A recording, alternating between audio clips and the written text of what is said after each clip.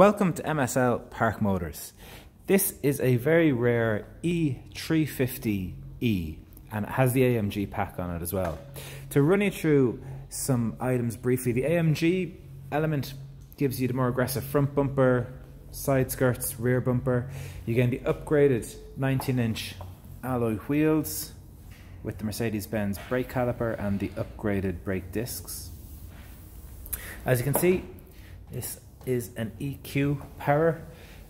What that means in English is that it's a 2 litre petrol turbocharged engine with the addition of an electric motor.